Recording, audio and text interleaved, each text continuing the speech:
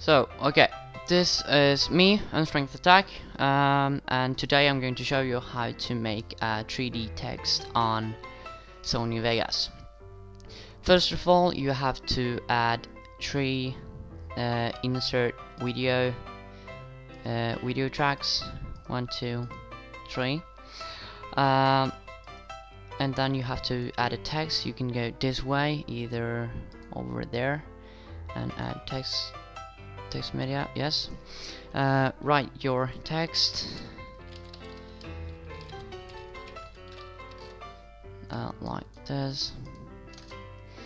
Uh, you could change your size your you choose. Um, like this. Now you got the size. Put these over there on uh, put this one on 3D Source Alpha. Uh, now go down there on media generators, on noise textures, add this one, uh, standard turbulence.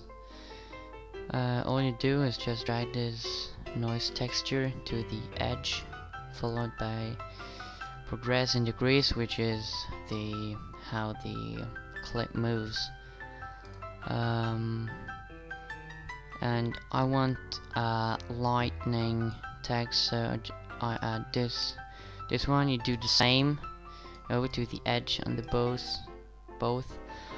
Um, go to video event fx on the text and you just add glow add and click OK you get this window with where you have to add different things of course.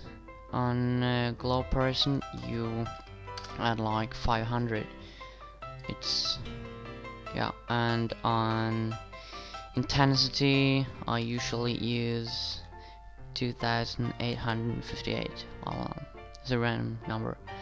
Uh, and use uh, color either blue green. I like green so I like blue one, so I take the blue. Um, of this, you need to put the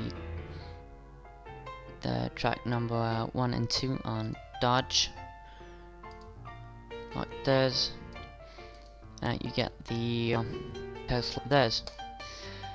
Uh, if you want to add more uh, more effects, you could go to the track where the text is over there on no there track motion.